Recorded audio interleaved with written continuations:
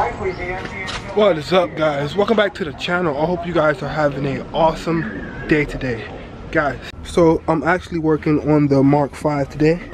So I've been trying to figure out why um, when the radiator is on there, it sits so close, right? It sits so close to where the nothing turns on. So I've been trying to figure out why because I need to move this car.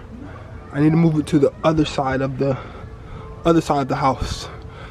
So I've been trying to figure out how to fix this problem right here. I don't know what the guy was I don't know what the guy was missing when he did this, but I definitely got a lot more space in there now. So, like I said, I don't know. I still think this is a perfect car for $500, man. We got power. Let's see if we have enough to crank it. Oh, fantastic. On the first try.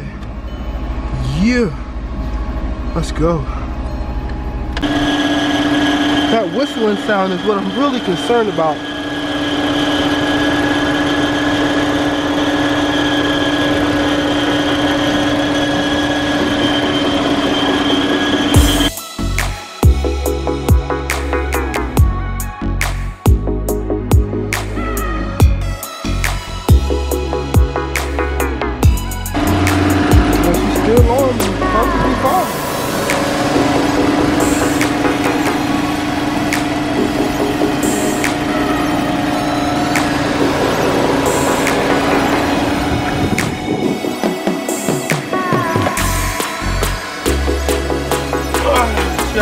Starting to get hot.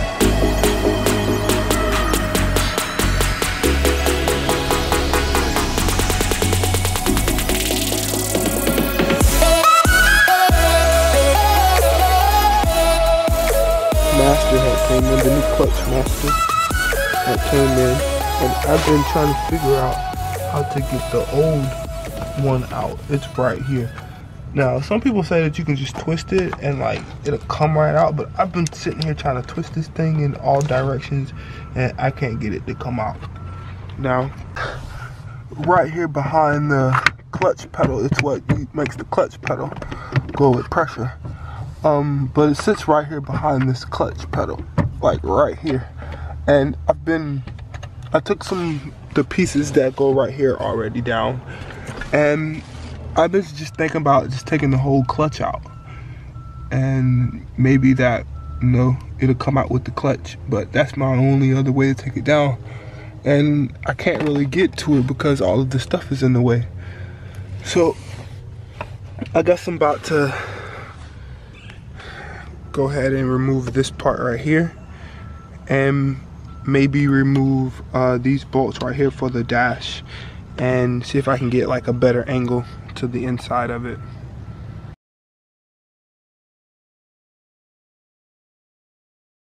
Alright, so pretty much with now all that ripped down, uh, the big piece that was right here in the front right here, and then that piece that was right here, with all that ripped down, you can actually see the um, two bolts that you need to take out.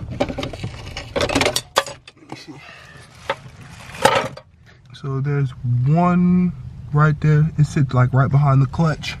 And then there's another one on the other side. So I believe those are the two bolts that you need to take out. That releases the, um, the clutch cylinder. So uh, there is this piece right here that goes in that goes into the frame well and you have to uh, so you have to pretty much turn it this is the piece that you have to turn. It's not on the other side of the wall. It's under the body of the car or under the dash. So you see the, the piece right there. So it sits in there like this. You just need to turn it and then it will pop out. And then once that pops out, uh, you just push the clutch in a little bit and then it releases that part right there. And then that's how you take it out. Now there's a harder task. So yeah, it was it was much easier to just remove the pedal because that that's in there because that's jammed in there with that little ball and you can't just like pinch it out through those parts so it's better to just remove the whole pedal because of that little ball that's inside of there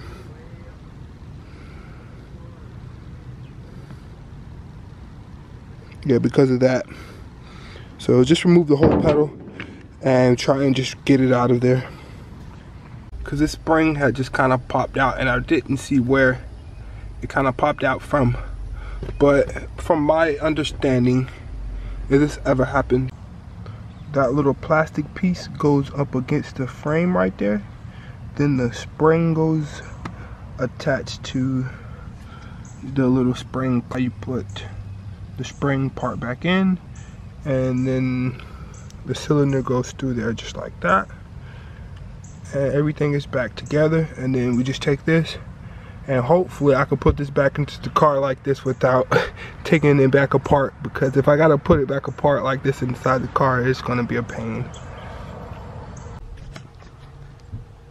And just like that we have installed the new piece inside and let's go check under the hood now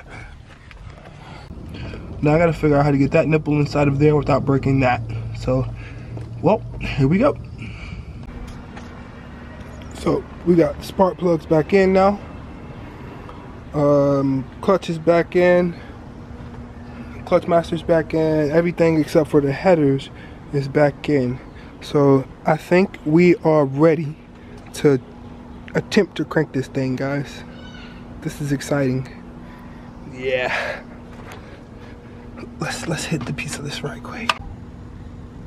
So I've been trying to crank it and I think I am spilling gas. I don't think one of the things are locked down.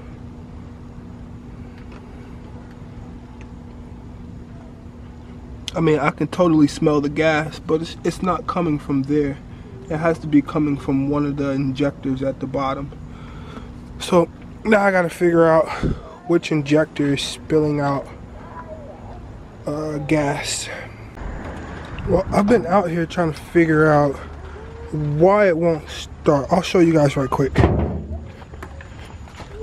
Because it's starting to rain on me now. So I kind of about to go in the house, but I could put power to it, right? So power to it. Everything's on the dash is on. And but as soon as I put the clutch pedal in and I get nothing. Turn the key I get nothing. So that's where I'm at now. I don't know why it's doing that. So I guess that's what I have to figure out now. It's starting to rain on me, but let me get out of here. So yeah, I guess I will catch you guys in the next video.